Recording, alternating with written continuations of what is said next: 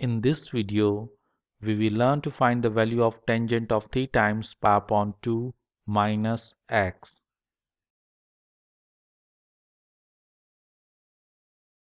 As we know, tangent of theta is equal to sine of theta upon cosine of theta. So, tangent of 3 times pi upon 2 minus x is equal to sine of 3 times pi upon 2 minus x upon cosine of 3 times pi upon 2 minus x.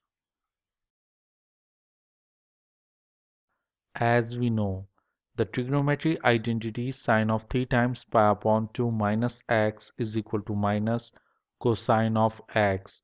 The video appearing in the upper right corner explains the verification of the said identity. The link of the video is also mentioned in the description section.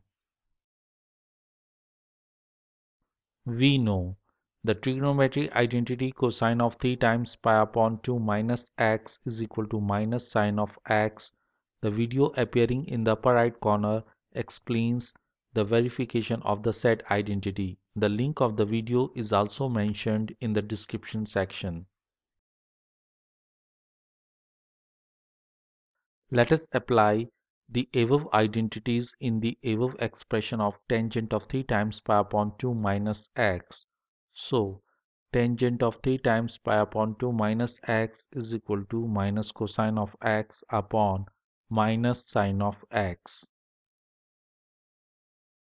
As minus in the numerator and minus in the denominator cancels out each other and cosine of x upon sine of x is equal to cotangent of x. So tangent of 3 times pi upon 2 minus x is equal to cotangent of x. Thank you for being with me. I hope you like this video. Please click the like button and subscribe button. Do not forget to press the notification bell so that you get the notifications of my new videos. Share the video and do write in the comments. I am eager to listen to your thoughts.